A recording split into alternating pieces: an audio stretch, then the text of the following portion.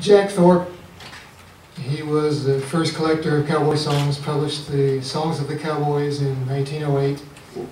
And he seems like he knew everybody out in the West. He seemed to be pretty well connected. He was visiting a friend of his whose name was Judge Roy Bean in the law west of the Pecos. He's sitting there on the front porch with him. And the judge is telling him about this young lady who had her own cattle brand, her own cattle, and she could do anything that any man could do as far as being a cowboy. And this, the judge was pretty impressed with this, and so was Jack.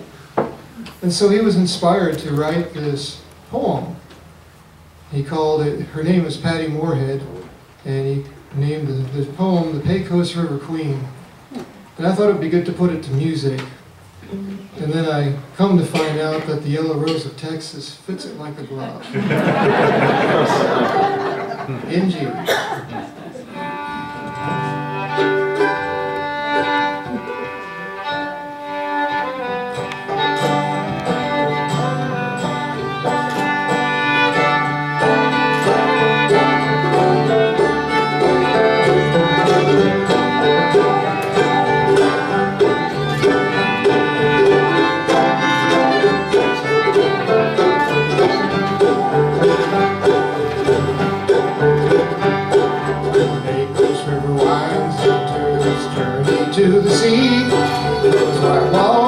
sand and rock striving ever to be free. To The highest railroad bridge of all these modern times has seen.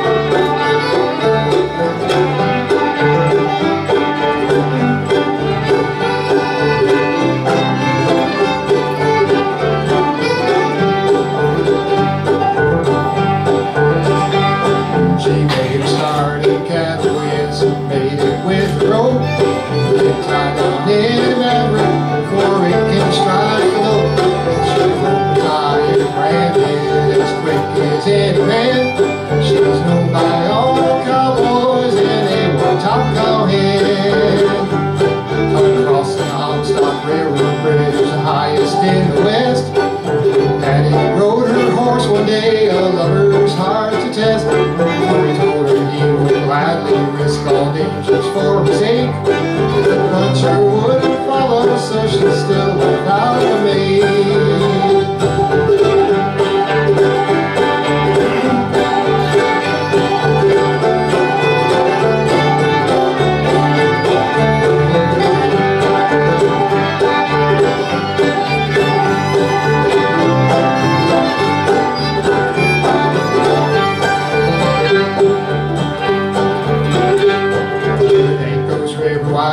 Turns in a journey to the sea. Those white walls of sand and rock striving never to be free. The highest railroad